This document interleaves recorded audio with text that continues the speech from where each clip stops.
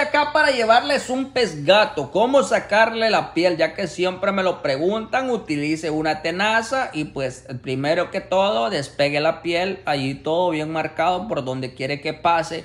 Eh, digamos donde quiere que se le quite la piel y pues de esa forma empieza a jalarlo hacia abajo es muy bueno, muy importante sacarle la piel al bagre, pudiendo hacerlo es bueno, más limpio, más de calidad y pues para eso estamos, para mostrarle y pues recuerde que este es una chulada de pescado para hacer sopa también. Ahí estamos, saluditos y fuímonos.